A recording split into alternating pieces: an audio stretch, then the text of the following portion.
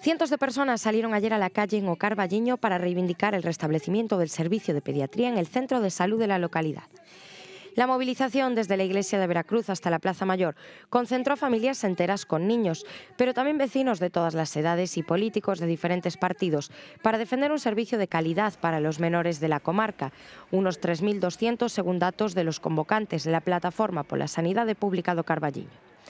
Bajo el lema Pediatras en o Carballiño xa, miembros de la plataforma convocante calificaban de muy positivo y de éxito rotundo la respuesta ciudadana para pedir que se restablezca el servicio de dos pediatras a jornada completa, de 8 de la mañana a 3 de la tarde, frente al servicio actual que cuenta con un médico puericultor en jornada reducida de 9 de la mañana a 1 de la tarde, según recogía el manifiesto que leyeron en la Plaza Mayor y donde pidieron que se amplíe también a horario de tarde.